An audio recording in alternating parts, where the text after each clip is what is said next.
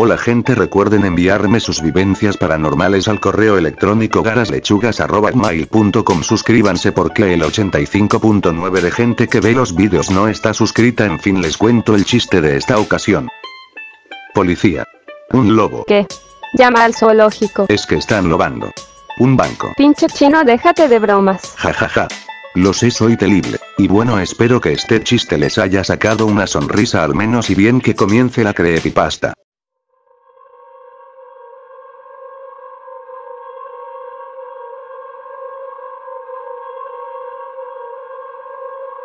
Esto me pasó cuando tenía 20 años y vivía en un pueblo junto con mis padres. Cabe aclarar que esta historia sucedió en 1980 entonces yo me llamo Carlos y en mi pueblo se rumoreaba que durante las noches aparecía una criatura. Eso de la medianoche esa criatura era descrita como una especie de gusano con alas y sin ojos color blanco y del tamaño de un caballo y que esta criatura cazaba durante la noche en el bosque cerca del pueblo. Entonces si querías salir del pueblo había que cruzar ese bosque y mi padre un día enfermo de gravedad y por más que le daban todo tipo de remedios. Mi padre no sanaba entonces una noche mi padre estaba a punto de morir así que decidimos salir del pueblo e ir al hospital pero ya casi era medianoche y teníamos mucho miedo pero no íbamos a dejar que mi padre falleciera así que nos preparamos y agarramos la escopeta y nuestra camioneta nos dirigimos al bosque. Al principio todo normal en el bosque pero una vez dieron las 12 de la noche comenzó la pesadilla. De repente las luces del coche alumbraron mientras salía de los arbustos entonces aceleramos a fondo para escapar de esa criatura. Entonces nos empezó a perseguir. Entonces mi madre manejaba la camioneta mientras yo le disparaba a esa criatura. Fallé muchos disparos por el gran miedo que sentía hasta que por fin me calmé un poco y le di cuatro disparos. La criatura se enojó y empezó a correr más rápido y llegó el momento en el que casi nos impacta pero antes de eso pensé si no tiene ojos significa que seguía por el oído y por su olfato. Entonces arrojé un trapo encendido con excremento de vaca y unos cohetes que traía la camioneta y funcionó. La criatura se detuvo. Entonces logramos huir. Llegamos al hospital y salvaron a mi padre y nunca habíamos hablado de esto porque quién nos iba a creer y...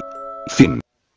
Perdonen que este video fue muy corto pero no se preocupen pronto les traeré la creepypasta de Smile Dog mientras tanto tengan paciencia por favor y bueno nos vemos en el próximo video adiós.